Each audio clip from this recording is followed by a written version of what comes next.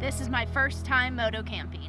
Not only am I moto camping, I'm moto camping from a bike I've had less than a week. And we're gonna be trying out all of our new camping gear, so tent, sleeping bag, cookware, all of that stuff. I am a little nervous to be doing this trip.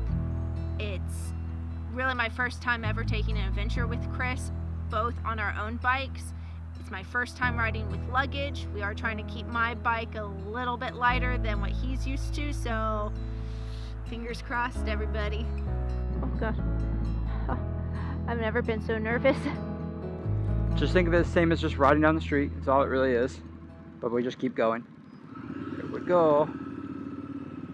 So Caitlyn's journey begins. This is my first overnight adventure on my own motorcycle. I've done a trip up to Savannah and back again the same day, trip up to Myrtle Beach and back again the same day. But this is my first time riding and then moto camping. And I'm excited to try out all of our new camping gear, trying to figure out how to cook at a campsite. We'll kind of figure that out, I guess.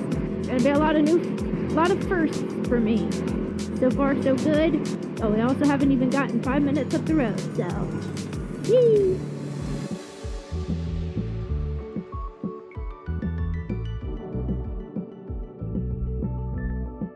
First time with a new bike in, in this state. Yep. And then on to your first time riding into Florida ever. And only on a permit.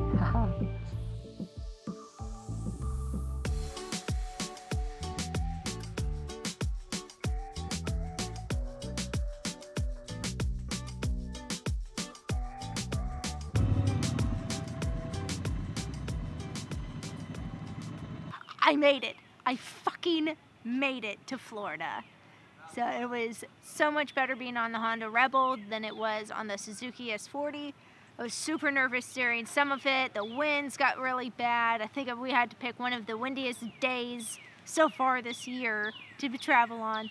But we made it all in one piece. We found our campground. Let's go set up the tent now. We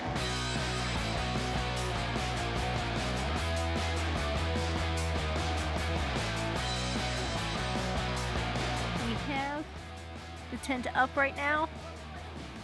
The struggle was a bit real. You probably should have watched a refresher video on how to set up the tent. We've been up since before 8 o'clock this morning. Not like that super early, but we stayed up super late packing. Chris ran to the store to hopefully get food or drinks, or we'll just kind of see what happens. I'm tired and I'm hungry because we haven't eaten yet. And I like food very, very much. Now that the tent was set up, it was time to get everything else inside. Teamwork makes the dream work.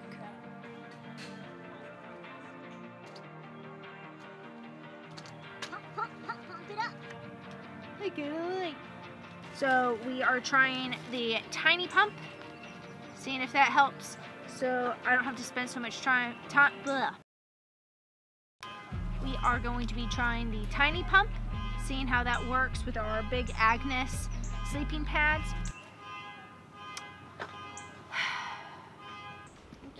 Alarm off, people. We're Yeah, we're filming. Hello, duh, rude. Don't they know YouTube exists? YouTubers! Sorry, oh, content creators. How about filmmakers? Filmmakers. I like that one a lot more. We're working towards filmmakers. There yes. We are trying the tiny pump, air pump, to use to inflate our air mattresses. Hopefully they will be a lot faster than the bags that come with the big Agnes. Not that they're a problem, they just kind of take a long time, particularly Chris's. Now, there isn't technically a correct size for the big Agnes sleeping pads. It does work, but it doesn't form a direct seal, so it's not exactly perfect. But let's see if it works a little better. So far, it's working. Slowly but surely, it is working.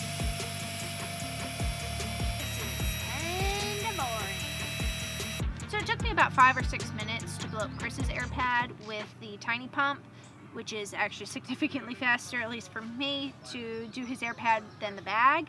So I say it's a win. I say overall it's a pretty good win. We have the Snugpak sleeping bags. We have a right and a left sleeping bag so we can actually zip them up together. So if we actually wanted to snuggle and be a couple, you know, be romantic and all that stuff.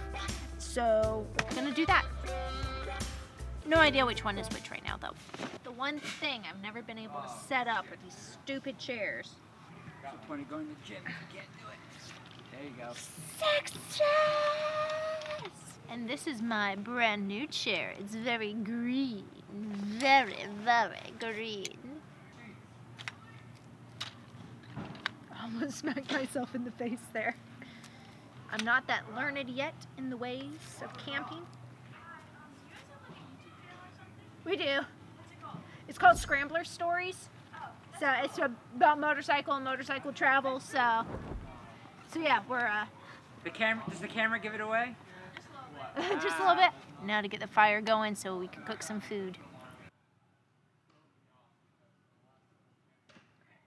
Hmm. Or just move slower.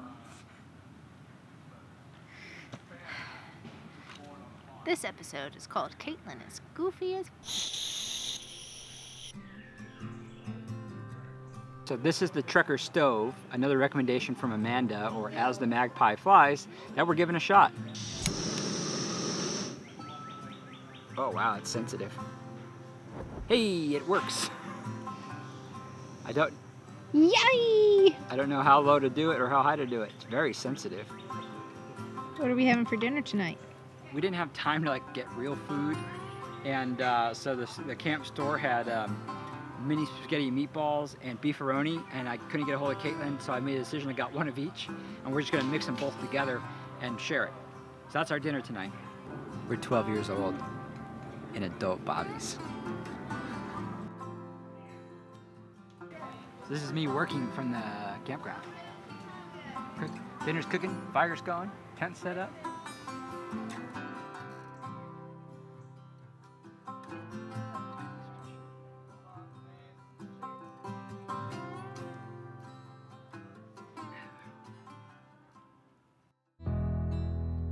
We woke up to a beautiful day, and I got to enjoy the morning rays while Chris got to work.